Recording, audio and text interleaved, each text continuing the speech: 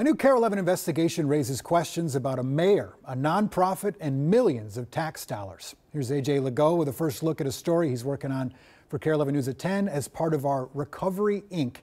investigation. Blaine, Minnesota is where our investigation into Medicaid billing irregularities for addiction recovery services takes us.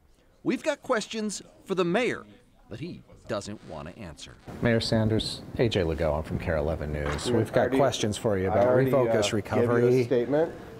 Already you What a did you know about the further. suspicious Medicaid billing and when did you know it, sir?